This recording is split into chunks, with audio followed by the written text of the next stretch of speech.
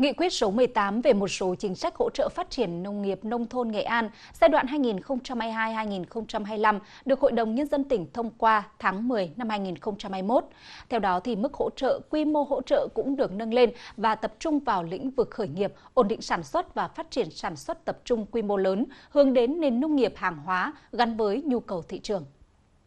Ngành nông nghiệp và các địa phương đang tập trung rà soát nhu cầu, để hỗ trợ kịp thời, góp phần để đưa nghị quyết nhanh chóng đi vào thực tiễn.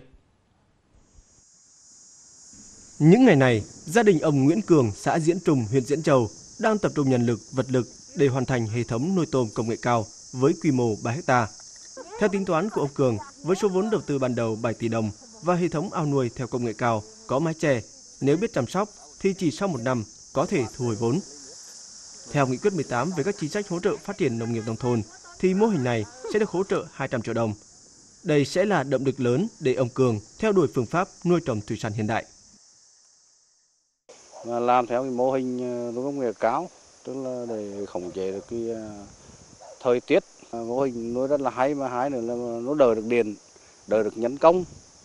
rồi đỡ áp lực về nước đâu ra đâu vào.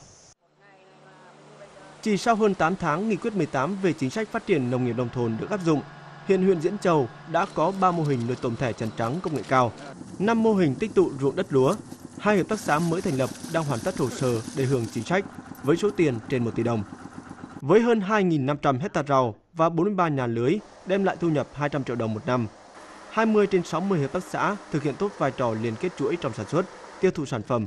Chính sách hỗ trợ của tỉnh sẽ mở ra triển vọng trong phát triển nông nghiệp của huyện Diễn Châu theo hướng hàng hóa, giá trị cao. Các chính sách này nên bố trí các nguồn lực một cách kịp thời, đầy đủ để khi mà đã hoàn chỉnh các hồ sơ rồi thì, thì chúng ta giải ngân để hỗ trợ người dân, doanh nghiệp có một cái, cái cách tiếp cận cũng như là cái cái chính sách đi vào cuộc sống một cách đầy đủ và thiết thực nhất.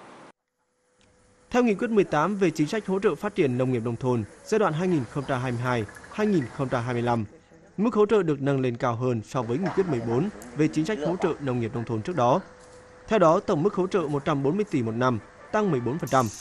Tổng kinh phí thực hiện 557 tỷ đồng cho cả giai đoạn. Trong đó quy định rõ mức hỗ trợ cho khởi nghiệp trong sản xuất nông nghiệp, hỗ trợ ổn định sản xuất và hỗ trợ phát triển sản xuất tập trung quy mô lớn có đầu tư về khoa học công nghệ. Đến nay, nguồn ngân sách đã hỗ trợ gần 50 tỷ đồng cho các mô hình. Tuy nhiên, quá trình thực hiện đang còn nhiều vướng mắc phát sinh. Cái quy trình thủ tục và cái các bước tổ chức triển khai thực hiện của của nghị quyết thì nó liên quan đến rất là nhiều đơn vị, ờ, nhiều cơ quan và nhiều cấp. Cho nên là quá trình mà tổ chức triển khai thì ừ, cái việc là phân công đơn vị chủ trì rồi ờ, việc tổ chức phối hợp rồi cái việc là à, hướng dẫn người dân để trong cái việc là à, đăng ký rồi lập hồ sơ đề nghị cũng như là thanh quyết toán thì nó cũng đang có rất là nhiều cái quy trình. Hiện nay thì về cái vấn đề thủ tục hành chính về cái thủ tục hành chính hiện tại mà như các cái đơn vị đang làm thì nó phải kéo dài từ 1 đến 2 năm thì cái đó thì nó sẽ ảnh hưởng đến cái cái tiến độ của, của, của hợp tác xã tiến hành cái dự án này. Mong muốn nhất hiện nay của hợp tác xã cũng chỉ là đẩy nhanh cái tiến độ à, về vấn đề thuế đất thôi. Sau đó thì bước tiếp theo là sẽ dựng, xây dựng cái nhà máy. Việc thay đổi bổ sung một số chính sách trong sản xuất nông nghiệp theo nghị quyết 18 Hội đồng Nhân dân giai đoạn 2022-2025 được coi là những thay đổi kịp thời, đáp ứng yêu cầu sản xuất thực tế hiện nay, được kỳ vọng sẽ tạo những bước đột phá trong sản xuất nông nghiệp theo hướng tập trung, hàng hóa và hiện đại. Để chính sách nhanh chóng đi vào cuộc sống, đòi hỏi sự vào cuộc, nỗ lực phối hợp của các ngành, địa phương.